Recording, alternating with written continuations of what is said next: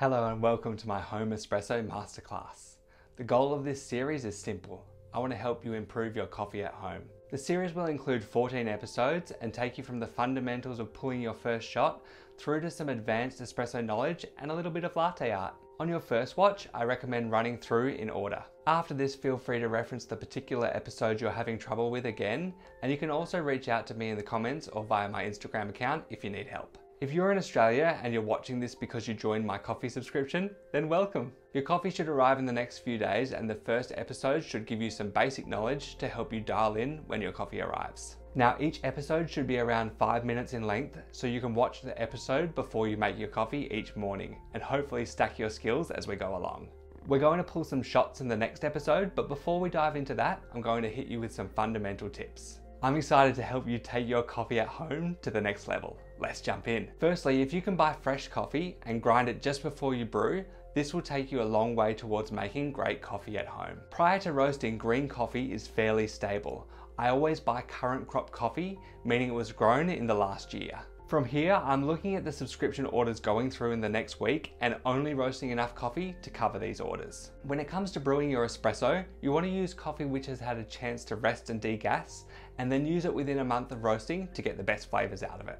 The coffee roasting process brings about a lot of chemical changes in the bean, and for the first week, it's releasing CO2. From days 7 to 30, assuming you keep your coffee dialed in, you will get all the nuanced flavors listed on the bag in your cup. After a month, it'll still taste like coffee, but it will potentially taste a bit more dull and lifeless in comparison. If you were to buy coffee at the supermarket, even the freshest specialty coffee will probably be past its prime.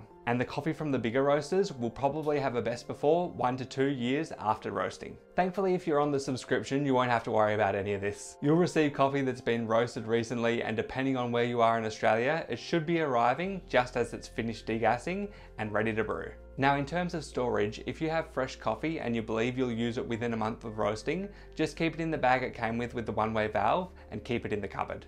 The freezer is actually a pretty good long-term solution for storing your coffee, but only if it's in an airtight container or bag, and only if you let it come back to temperature before opening it up and exposing it to oxygen. Now if you don't let it get back to room temperature, you'll get moisture on the beans, which will be worse for the coffee than just letting it age normally at room temperature.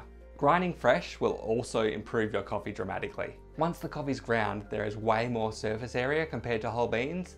This means that the coffee will oxidize and the flavor will reduce very quickly. Now in the beginning of your journey, it might make sense to buy pre-ground coffee, but if you can get yourself a grinder, it will take your coffee at home to a whole new level. For making espresso, it's also important to be able to adjust the grind size to really dial in your coffee and get the most out of it. So if you buy pre-ground coffee, you're kind of stuck with an approximate grind size rather than something that's perfectly dialed in. Now lastly, the more consistent you can be with your brewing recipe, the easier it will be for you to get consistently great coffee at home. In the specialty coffee industry, a lot of people like to brew with scales so that they can accurately weigh how much coffee they're using and even weigh the amount of espresso out. Because an espresso extraction is very quick compared to other ways of brewing coffee, small changes in the recipe can have quite a big impact on the cup of coffee. Now you might not want to brew with scales when you're making your morning coffee, so in this series I'm going to teach you how to brew with and without scales. But you should just know that switching to brewing with scales has probably had one of the biggest impacts on coffee quality in the last 5 to 10 years. And if you're going to buy high quality beans, this extra step in your workflow will help you brew the best out of them. So now you have some fundamental knowledge about coffee,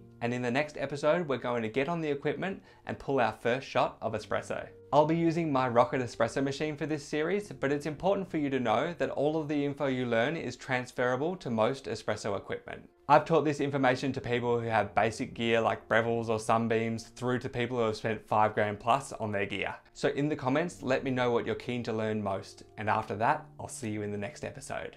Keep frothing!